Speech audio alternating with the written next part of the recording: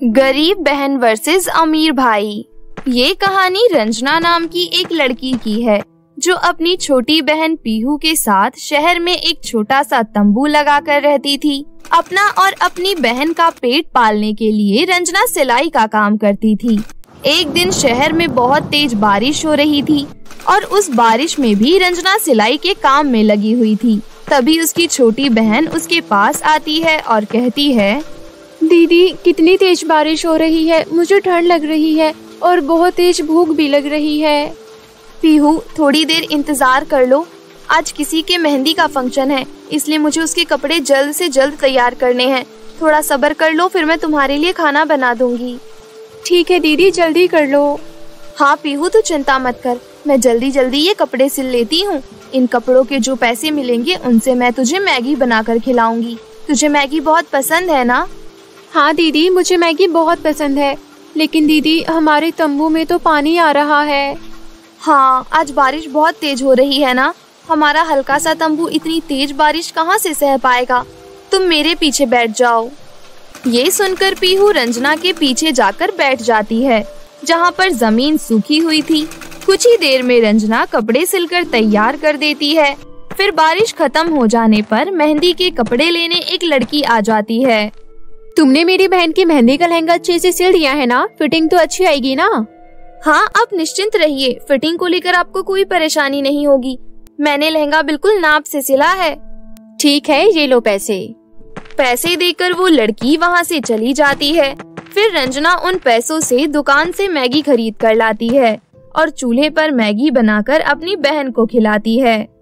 Wow दीदी, Maggi खाकर तो मज़ा आ गया। मैंने आपको एक महीने पहले बोला था कि मुझको मैगी खानी है और आप मुझे आज खिला रही हो।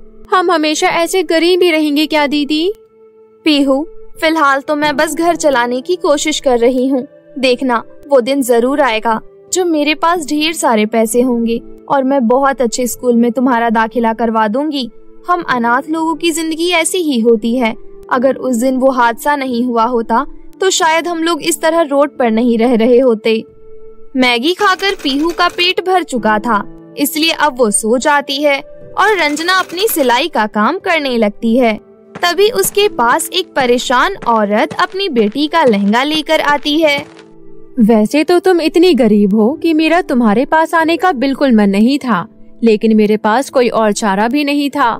मेरी पड़ोसन ने बताया कि तुम बहुत अच्छे कपड़े सिल लेती हो एक बड़े फ़ैशन डिज़ाइनर ने मेरी बेटी के लहंगे और ब्लाउज दोनों की फिटिंग खराब कर दी है। इसलिए तुम उसे ठीक कर सकती हो तो बताओ। पहले आप एक बार मुझे लहंगा दिखा दीजिए। रंजना के कहने पर वो औरत उसको लहंगा दिखाती है। लहंगा दिखने में वाकई बहुत खूबसूरत था। रंजना लहंगे को अच्छे से देखती है और कहती है हम्म आपने सही कहा, लहंगे में तो मार्जिन भी नहीं बचा है और ब्लाउज का डिज़ाइन भी कुछ खास अच्छा नहीं है। आप मुझे दो घंटे का समय दीजिए, मैं अभी ठीक कर दूँगी। लहंगा देकर वो औरत वहाँ से चली जाती है। उसके बाद रंजना उस लहंगे को ठीक करने में अपनी पूरी मेहनत लगा देती है। दो घंटे बाद जब वो औरत आती है तो रंजना उससे कहती है, देखिए, मैंने आपकी बेटी का लहंगा बिल्कुल ठीक कर दिया। अब ये पहले से भी ज़्यादा खूबसूरत दिख रहा है। अरे वाह, तुमने तो ये लहंगा पहले से भी ज़्यादा खूबसूरत बना दिया है। मैं तो बहुत हैरान हूँ। मानना पड़ेगा तुम्हारे अंदर बहुत अच्छी दर्जी की कला है।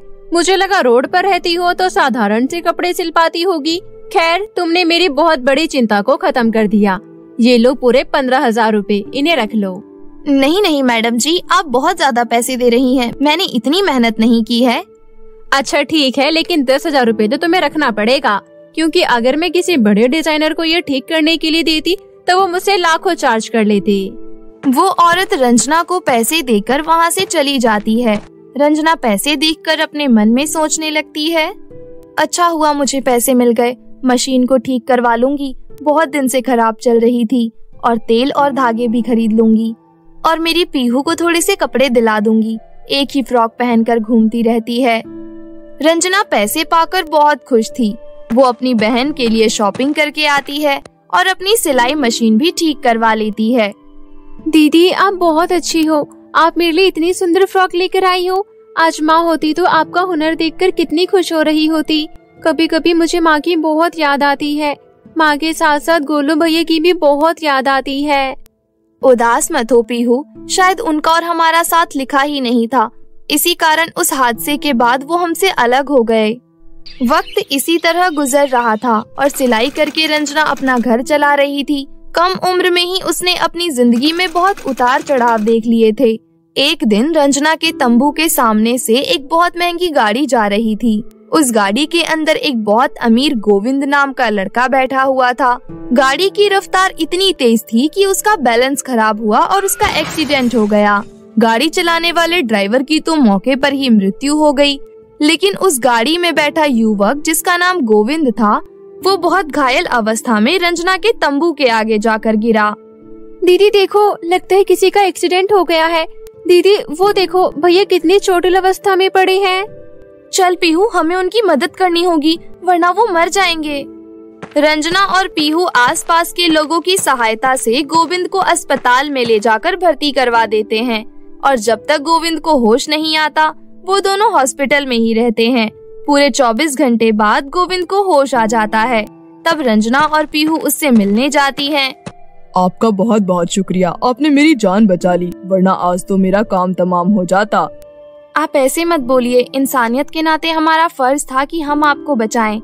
आप हमारे बड़े भाई जैसे हैं हाँ दीदी पता नहीं क्यों इनमें से मुझे गोलू भैया की झलक आ रही है गोलू नाम सुनकर गोविंद हैरान रह गया क्योंकि गोविंद को घर पर सब गोलू कहकर ही बुलाते थे। तुम्हें कैसे पता कि मेरा नाम गोलू है? मुझे नहीं पता था कि आपका नाम गोलू है। दो साल पहले मैं मेरे गोलू भैया मेरी दीदी और मेरे मम्मी पापा हम सब घूमने गए थे और अचानक से बस में आग लग गई और बहुत अफरा तफरी मच गई। मम्मी पापा की जान तो उसी समय चली गई थी लेकिन मेरे भैया की लाश का कोई पता नहीं चला। लोग कहते हैं कि वो खाई में गिर गए थे तब से मैं और दीदी सड़क किनारे तंबू लगा कर रहते हैं। पीहू की ये बात सुनकर गोविंद की आँखों से आँसू आ गए क्योंकि गोविंद ही पीहू का गोलू भैया था। बहन मेरी प्यारी छोटी बहन मैं ही तुम्हारा भाई हूँ। रंजना मैं मरा नहीं था। उस हादसे के बाद मुझे फ़ौरन अस्पताल ले जाया गया था और जब अस्पताल वालों को ये खबर मिली कि मेरे माता पिता मर चुके हैं तो उन्होंने मुझे अनाथालय में डलवा दिया और वहाँ से मुझे एक फैमिली ने अडॉप्ट कर लिया। वो लोग मुझे बहुत प्यार करते हैं। मुझे उम्मीद है वो तुम्हें भी अपना लेंगे। रंजना गोविंद के गले लग जाती है। फिर गोविंद अपने हाथ का निशान दिखाता है, जो बचपन से ही उसके हाथ पर था। ये निशान इस बात का पुख्ता सबूत है भैया, कि आप ही मेरे भैया हैं। तीनों भाई बहन एक दूसरे से मिलकर बहुत खुश थे। अस्पताल से डिस्चार्ज मिलने पर गोविंद दोनों बहनों को अपने साथ अपने घर ले जाता है और अपने माता पिता से उन्हें मिलवाता है। माँ बचपन में मैं जिन दो बहनों की बात आप दोनों से किया करता था वो यही दोनों हैं। मुझे मेरी बहन मिल गई है माँ पापा। लेकिन बेटा तूने कैसे यकीन कर लिया कि ये दोनों तेरी बहन है? हमारा खून का रिश्ता है माँ। हम एक दूसरे को पहचानने में कभी गलती नहीं कर सकते। पीहू ने वो सारी बात मुझे बताई जो उस हादसे में हुई थी जो मेरे और आपके अलावा कोई नहीं जानता था। ये तो बहुत खुशी की बात है कि तुम्हें तुम्हारी बहन मिल गई। गोविंद को गोविंद की बहन मिल गई और हमें हमारी बिटिया। हम हमेशा से सोचते थे कि हमारी कोई औलाद नहीं है। फिर हमने गोविंद को गोद लिया। फिर जब बेटियों की चाह हुई तो भगवान ने हमें बेटियाँ भी दे दी। भगवान बस इसी तरह हम पर अपनी दया दृष्टि बनाए रखे। बेटियों, इस घर को अपना घर समझो और हमें अपने माता पिता पीहू और रंजना उन दोनों भले इंसान के पैर छूते हैं और उनका आशीर्वाद लेकर उन्हें अपने माता पिता स्वीकार करते हैं उस दिन के बाद से तीनों भाई बहन उन दोनों के साथ रहने लगते हैं। गोविंद अपनी बहन के लिए एक बुटीक खुलवा देता है, जिसमें रंजना जी जान लगाकर काम करती है और अपने पैरों पर खड़ी हो जाती है। इस तरह अब वो पूरा परिवार एक साथ अपना जीवन खुशी खुशी व्यतीत करने लगता है। एक गाँव में एक मजदूर रोहन लाल अपनी पत्नी शीतल के साथ रहता था। वो दोनों दूसरों के खेतों में काम करते थे और उसे जो भी मजदूरी मिलती थी उससे अपना घर चलाते थे। एक दिन वो दोनों अपने मालिक रमन लाल के सेब के बगीचे में काम कर रहे थे। शीतल इस साल फ़सल बहुत अच्छी हुई है। सारे सेब एकदम लाल और खिले खिले हैं। हाँ जी आप सही कह रहे हो। मालिक जब इतने स्वादिष्ट और लाल सेब देखेंगे तो बहुत खुश हो जाएँगे। हाँ और हो सकता है मालिक हमसे खुश होकर हमें कुछ इनाम दे दे, या हमें थोड़े ज़्यादा पैसे दे दे। अब चलो, तुम जल्दी जल्दी ये सारे सेब को तोड़कर टोकरी में इकट्ठा कर लो। मैं बगीचे की सफ़ाई कर देता हूँ। मालिक आते ही होंगे। उसके बाद दोनों अपना अपना काम करने लगते हैं। उतने में ही वहाँ एक चूहा आ जाता है। और लाल लाल सेब देखकर खुश हो जाता है और वो टोकरी में से सेब उठाकर खाने लगता है। जब रोहन की नज़र चूहे पर पड़ती है तो वो कहता है अरे बगीचे में ये चूहा कहाँ से आ गया? मालिक ने देख लिया तो हम पर बहुत गुस्सा करेंगे। हट हट भाग यहाँ से। रोहन चूहे को भगाने लगता है। रोहन के भगाने पर थोड़ी देर के लिए वो चूहा भाग जाता है परंतु थोड़ी देर बाद फिर से वो चूहा वापस आ जाता है। और दोबारा से सेब खाने लगता है। अरे तुम फिर आ गए। लगता है तुम ऐसे नहीं मानोगे। ऐसा कहकर रोहन डंडा लेकर उस चूहे के पीछे दौड़ने लगता है। रुक जा तू सेब खाएगा? अभी बताता हूँ तुझे। अब भाग कहाँ रहा है? रुक जा तुझे मैं नहीं छोड़ूँगा। रुक! रोहन चूहे के आगे पीछे तेज तेज दौड़ने लगता है जिसके चक्कर में बहुत सारे सेब बर्बाद हो जाते हैं। पूरा बगीचा तहस नहस हो जाता है। अरे बस करो जी। आपको चूहे के पकड़ने के चक्कर में पूरा बगीचा तहस नहस हो चुका है। कितने सारे सेब खराब हो गए। तभी उस खेत का मालिक रमन लाल वहाँ आता है और अपने बगीचे की ऐसी हालत देखकर गुस्सा होते हुए रोहन से कहता है, अरे, ये क्या किया तुम दोनों ने? तुम लोगों ने मेरा पूरा बगीचा खराब कर दिया। अब तुम्हें आज की कोई मजदूरी नहीं मिलेगी, समझे? तुमने मेरा नुकसान किया है, उसकी भरपाई तुम्हें चुकानी ही होगी। इतना कहकर रमन लाल गुस्से में वहाँ से चला जाता है। रोहन और शीतल निराश हो जाते हैं। रोहन का उदास चेहरा देखकर वो चूहा रोहन पर हंसने लगता है। चूहे को देखकर रोहन को बहुत गुस्सा आता है। रुक जा तू हंसता है मुझ पर अभी बताता हूँ तुझे। इतना बोलकर रोहन वापस से चूहे को मारने के लिए उसके पीछे भागने लगता है। रुक जा भागता कहाँ है? अरे कहाँ छुप गया? बाहर आ। तभी शीतल का ध्यान अपने पति की ओर जाता है और वो उसको देखकर चिल्ला उठती है। आ! अरे चूहा तो अपने सर पर है। अच्छा अब तू नहीं बचेगा। इतना कहकर रोहन अपना सर झटक कर चूहे को नीचे गिराता है और उस पर अपनी कुल्हाड़ी से हमला करता है। वो चूहा तो भाग जाता है परंतु रोहन को बहुत ही तेज टन की आवाज़ सुनाई देती है। अरे ये आवाज़ कैसी थी? रोहन दोबारा से अपनी कुल्हाड़ी उस पर मारता है। वापस से उसे टन की आवाज़ सुनाई देती है। तभी वहाँ शीतल आती है और तभी शीतल कहती है लगता है शायद इस ज़मीन के अंदर कुछ गड़ा है। मुझे भी ऐसा ही लगता है। कहीं कोई खजाना तो नहीं। मुझे यहाँ गड्ढा करना चाहिए।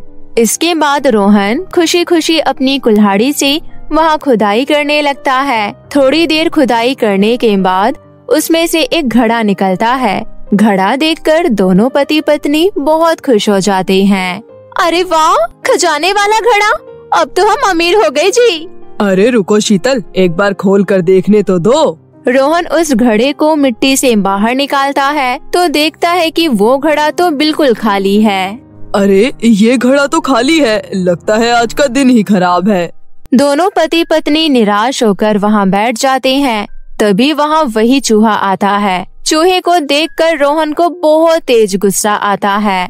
तुझे तो मैं छोड़ूँगा नहीं।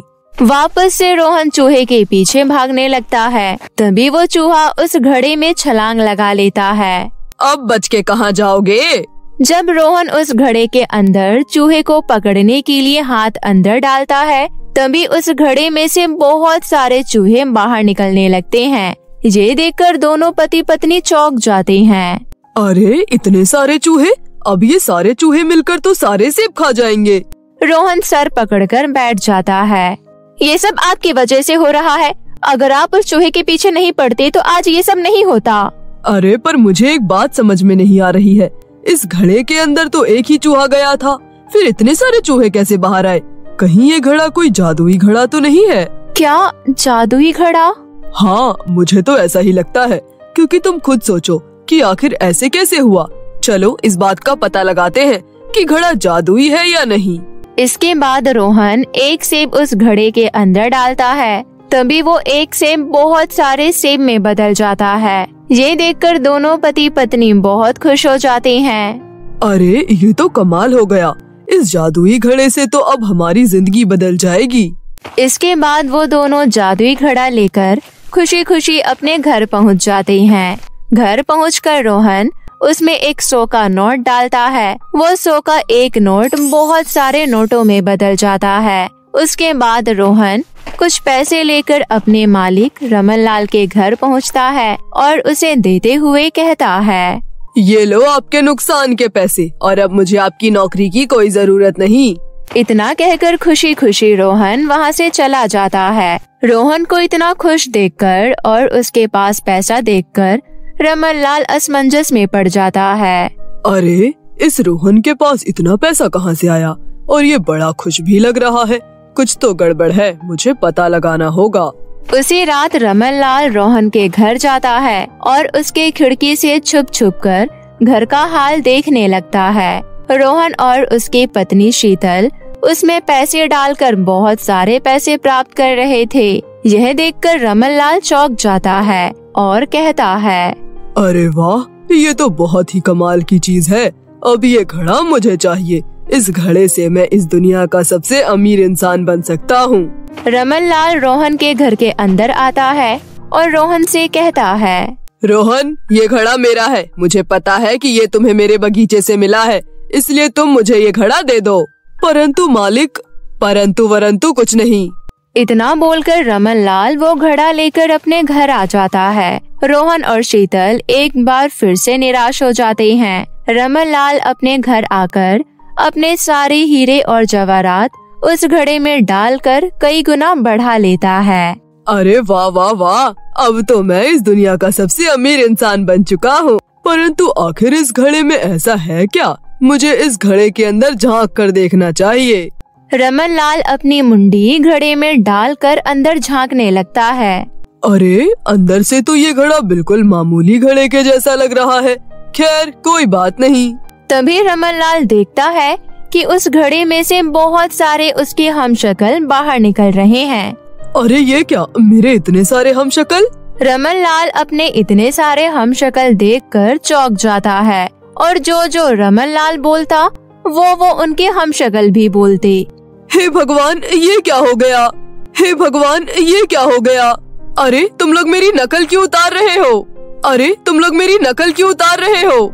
चुपचाप चले जाओ यहाँ से। यहाँ मैं असली हूँ, तुम सब नकली हो। जाओ यहाँ से। चुपचाप चले जाओ यहाँ से। यहाँ मैं असली हूँ, तुम सब नकली हो। जाओ यहाँ से। अरे, मेरी नकल करना बंद करो भाई। रमन लाल समझ जाता है कि जैसा जैसा वो करेगा, वैसा वैसा ये हम शक्ल भी करेंगे। इसके बाद रमन लाल पैर उठाकर नाचने लगता है। सारे हम शक्ल भी नाचने लगते हैं। फिर वो अपने घर से बाहर निकलता है। सारे हम शक्ल भी घर से बाहर निकलते हैं। फिर वो अपने घर का चक्कर लगाता है। सारे हम शक्ल भी उसके पीछे पीछे घर का चक्कर लगाते हैं। फिर वो वापस अपने गेट के पास आकर थोड़ी देर के लिए रुक जाता है। सभी रुक जाते हैं। फिर वो भागकर अपने घर के अंदर आकर घर का दरवाज़ा बंद कर लेता है और खुश होता है। कैसे उल्लू बनाया? अपने सारे हम शक्ल को देख देखकर रमलाल अपने मन में सोचता है। हे भगवान लगता है ये हम शक्ल मेरा पीछा नहीं छोड़ेंगे। अब मैं क्या करूँ? मैंने क्यों उससे ये घड़ा ले लिया? अच्छा खासा अपनी ज़िंदगी जी रहा था। मैं अपने इतने सारे हम शक्ल के साथ नहीं जी सकता। हे भगवान मेरी मदद करो। तभी उस घड़ी में से आवाज़ आती है। रमन लाल मुझे खुशी है कि तुम्हें तुम्हारी गलती का एहसास है। अगर तुम अपनी भलाई चाहते हो तो तुम मुझे वापस मेरे मालिक के पास छोड़ आओ वरना तुम्हारे ये हम शक्ल तुम्हें पागल कर देंगे। मुझे मेरी गलती का एहसास है। मैं अभी घड़ा रोहन को वापस करके आता हूँ। रमन लाल जल्दी से वो घड़ा लेकर रोहन के घर पहुँचता है। उसके पीछे पीछे उसके हम शक्ल भी आ गए। ये देखकर रोहन और उसकी पत्नी आश्चर्यचकित रह जाते हैं। अरे मालिक, आप इतने सारे हो गए? अरे अरे रोहन भाई, अभी ये सवाल जवाब का वक्त नहीं है। पहले तुम अपना ये घड़ा पकड़ो। इसे तुम ही रखो, मुझे नहीं चाहिए घड़ा, और मुझे माफ़ कर दो। और कृपया कर इस बला को ठीक करो। मालिक, पर मैं ये कैसे ठीक करूँ? रोहन, तुम मेरे मालिक हो। तुम मुझे जो आदेश दोगे, मैं तुम्हारा कहाँ मानूँगी? तुम मुझे आदेश दो। फिर मैं इनके सारे हम शक्ल को गायब कर दूँगी।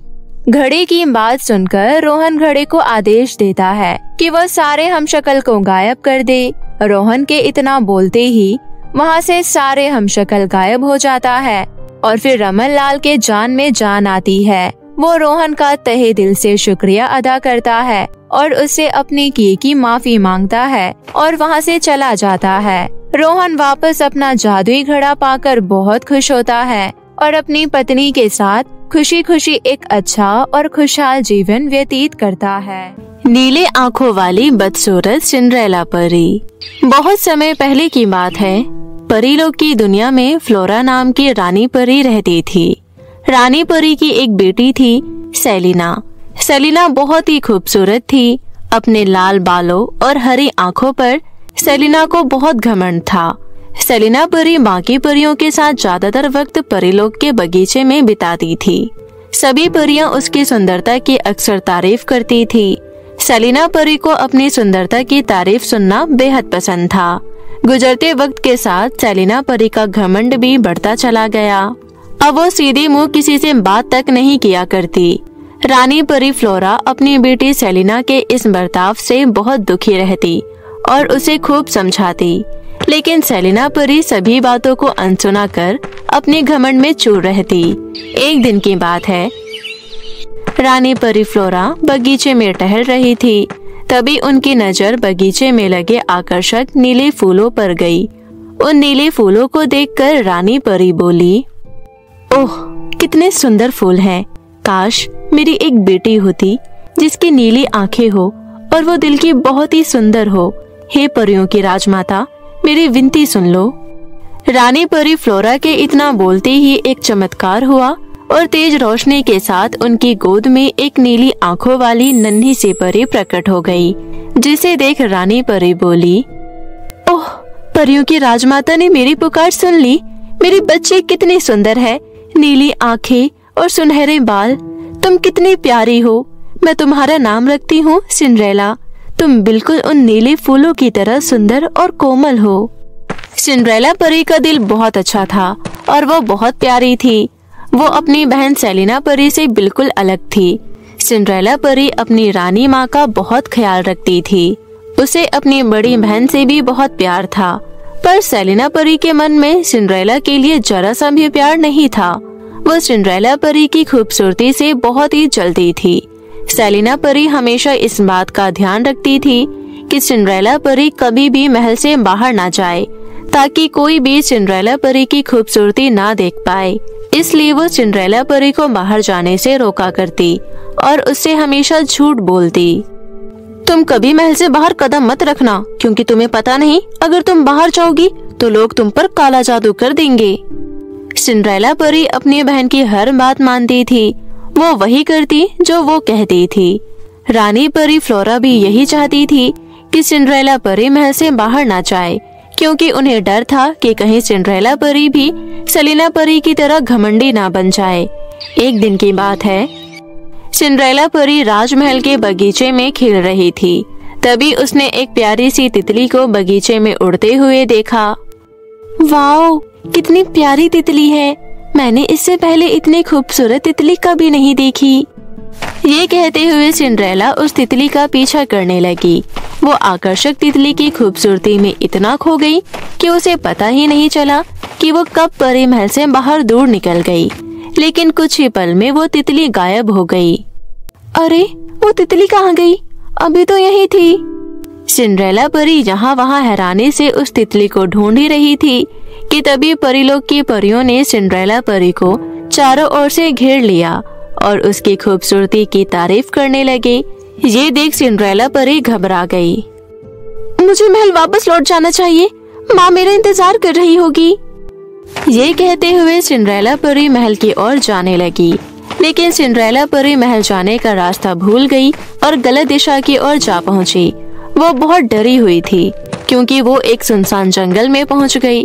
वो जल्दबाजी में अपने कदम बढ़ा रही थी कि तभी अचानक वो एक गहरे सुरंग में जा गिरी। आह! कोई बचाओ मुझे! लेकिन उस जंगल में उसके मदद करने वाला कोई नहीं था। वो इतना गहरा सुरंग था कि वो नीचे और नीचे जाती रही। वो मदद के लिए चिल्लाती रही लेकिन कुछ देर बाद वो बेहोश हो गई और जब उसे होश आया तो उसने देखा कि वो ऐसी जगह थी जहाँ अजीब किस्म के पेड़ पौधे और फूल दिखाई दे रहे थे। मैं? ये मैं कहाँ आ गई हूँ? ये जगह बहुत ही अजीब है। सिंड्रेला परी उस अजीब जगह में इधर उधर भटक रही थी कि तभी उसे एक खूबसूरत हवेली दिखाई दी जहाँ सुमोना नाम की एक बुरी जादूगरनी रहती थी। सिंड्रेला परी घबराते हुए हवेली के अंदर दाखिल होने ही वाली थी कि तभी सुमोना जादूगरनी उसके सामने प्रकट हुई और बोली कौन हो तुम? वहीं रुक जाओ।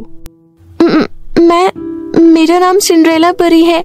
मैं दरअसल एक गहरी सुरंग में गिर गई थी और यहाँ पहुँच गई। मैं वापस अपने महल जाना चाहती हूँ। प्लीज़ मेरी मदद कीजिए। मदद? मैं भला तुम्हारी मदद क्यों करूँ? मैं आपके बहुत काम आ सकती हूँ। मुझे घर का सारा काम करना आता है। मैं आपका सारा काम करूँगी। बस आप मुझे वापस महल जाने का रास्ता बता दीजिए। सिंड्रेला परी की बात सुन जादूगरनी सुमोना मन ही मन में सोचने लगी कि उसे मुफ़्त में एक नौकरानी मिल जाएगी। फिर वो बोली ठीक है तुम कुछ दिन मेरे यहाँ काम करो। अगर मुझे तुम्हारा काम अच्छा लगा तो मैं तुम्हें वापस परी महल भेजने में तुम्हारी मदद करूँगी। अच्छा ठीक है। मुझे आपकी बात मंजूर है। पर मेरी एक और शर्त भी है। वो ये है कि तुम्हें यहाँ एक बदसूरत लड़की बनकर रहना होगा क्योंकि कोई भी खूबसूरत चीज़ मैं अपने बेटे के नज़दीक नहीं आने दूँगी क्योंकि उसे उससे प्यार हो जाएगा और वो मुझे छोड़ देगा। लेकिन रात को मेरे बेटे के सो जाने के बाद तुम अपने असली रूप में वापस आ जाओगी। ये सुन सिंड्रेला परी थोड़ा हिचकिचाई और जादूगरनी की बात मान गई। फिर जादूगरनी ने उस पर काला जादू किया और वो देखते ही देखते नीली आँखों वाली बदसूरत लड़की में बदल गई। अब यहाँ खड़ी क्यों हो? जाओ और जाकर मेरे बेटे का कमरा साफ़ करो। सिंड्रेला ने हाँ में सिर हिलाया और जैसे ही वो महल के अंदर गई तब उसने खाने के टेबल पर एक सुंदर नौजवान को खाना खाते हुए देखा। सिंड्रेला वहाँ रुकी और उसे देखने लगी। तभी वहाँ अचानक से जादूगरनी सुमोना प्रकट हुई और सिंड्रेला से बोली तुम यहाँ खड़ी खड़ी क्या कर रही हो? तुम्हें मैंने मेरे बेटे की कमरे की सफ़ाई करने के लिए कहा था। पर आप यहाँ अचानक कैसे? आप तो हवेली के बाहर थी ना? लगता है तुम भूल गई। मैं जादूगरनी हूँ। मैं कहीं भी आ जा सकती हूँ। और ये मेरा बेटा विराट है। अब जाओ यहाँ से और जाकर जो काम कहा है वो करो। जी जादूगरनी जा रही हूँ। जब सिंड्रेला कमरे में जा रही थी तब उसने उन दोनों की बातें सुन ली। माँ क्या मैं कल बाहर घूमने जा सकता हूँ? मैं सच में बाहर की दुनिया देखना चाहता हूँ। नहीं बेटा, मैंने तुम्हें कितनी बार कहा है, मैं तुम्हें खोना नहीं चाहती। मुझे डर है, अगर तुम बाहर गए तो तुम मुझे छोड़ दोगे। अगले कुछ दिन सिंड्रेला ने जादूगर ने सुमोना के घर में एक नौकरानी की तरह काम किया। धीरे धीरे वो विराट की ओर आकर्षित हो गई और मन ही मन उसे पसंद करने लगी। वो सारा दिन भर जादूगरनी के बेटे विराट के बारे में सोचती रहती। जादूगरनी का बेटा कितना सुंदर है काश मैं उसे अपने हाथों से एक खूबसूरत फूलों की माला दे पाती। ऐसा सोचकर सिंड्रेला ने एक दिन बगीचे में जाकर रंग बिरंगे फूलों की एक माला बनाई और रात होने का इंतज़ार करने लगी। रात को जादूगरनी सुमोना के सो जाने के बाद सिंड्रेला अपने असली रूप में आकर फूलों की माला लिए चुपचाप विराट के कमरे में दाखिल हुई। फिर फूलों की माला विराट के तके के पास रख उसे निहारने लगी। और फिर चुपचाप वहाँ से चली गई।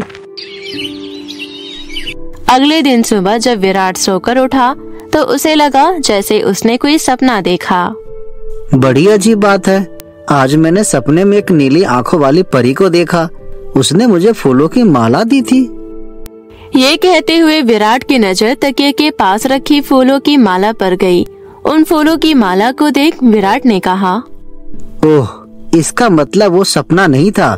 वो सचमुच की परी थी। मैं अभी जाकर नीली आँखों वाली परी को ढूंढूँगा जिसने मुझे ये सुंदर माला दी है। इतना बोलकर विराट अपनी जादूगरनी माँ को बिना बताए चुपचाप घोड़े पर सवार हुआ और नीली आँखों वाली परी को ढूँढने के लिए पहली बार हवेली के बाहर कदम रखा। काफ़ी दूर चलने के बाद वो मन ही मन बोला मुझे पता है वो परी मेरी हवेली के आसपास तो बिल्कुल भी नहीं होगी। मुझे उसे ढूँढने के लिए बहुत दूर जाना होगा। विराट अपने सपनों की राजकुमारी नीली आँखों वाली परी को ढूँढने काफ़ी दूर निकल गया। दूसरी ओर सिंड्रेला ने विराट को हवेली से निकलते देख लिया था। वो भी विराट का पीछा करते करते जंगल से दूर नदी किनारे जा पहुँची।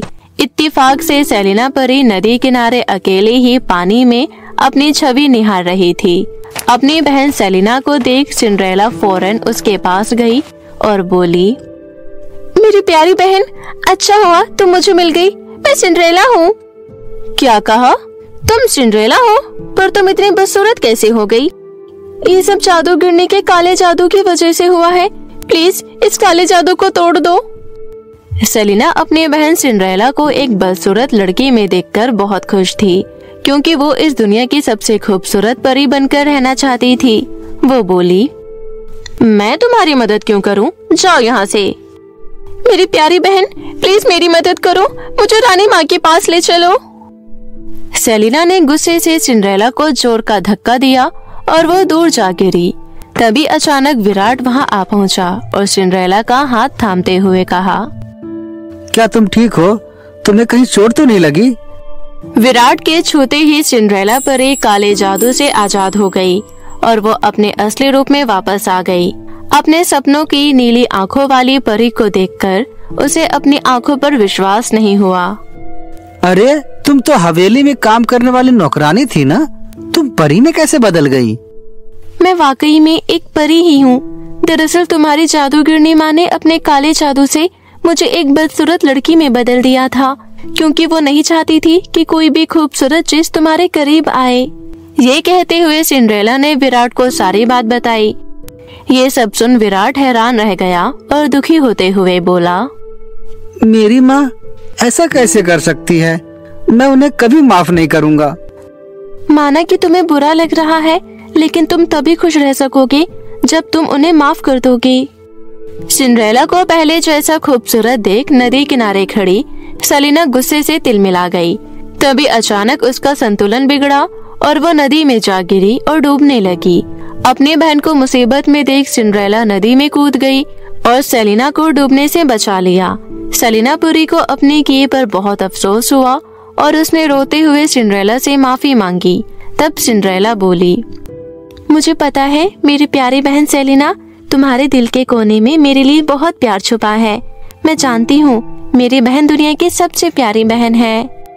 ओह, मेरी प्यारी बहन मैं अपनी खूबसूरती के घमंड में इतनी चूर हो गई थी कि तुमसे हमेशा जलती रही। मुझे माफ़ कर दो मेरी बहन। ये कहते हुए सेलिना ने सिंड्रेला को गले से लगा लिया। इस तरह दोनों बहनें एक हो गई और वहीं विराट ने भी हवेली लौटकर अपनी माँ से बात की।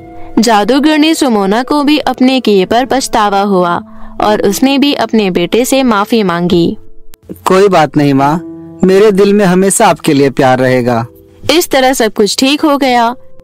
फिर विराट और सिंड्रेला परी ने एक दूसरे को अपने दिल का हाल बताया और बड़ी ही धूमधाम से दोनों की शादी हो गई। दूसरी तरफ़ सेलिना परी का स्वभाव बिल्कुल बदल गया। वो अब सबसे प्यार से बातें करने लगी थी और वहीं रानी परी फ्लोरा को अपनी दोनों बेटियों पर बहुत गर्व महसूस हो रहा था। तो देखा दोस्तों आपने, हमें कभी भी खूबसूरती पर घमंड नहीं करना चाहिए। अगर दिल अच्छा होगा तो आप सबको खूबसूरत लगोगे।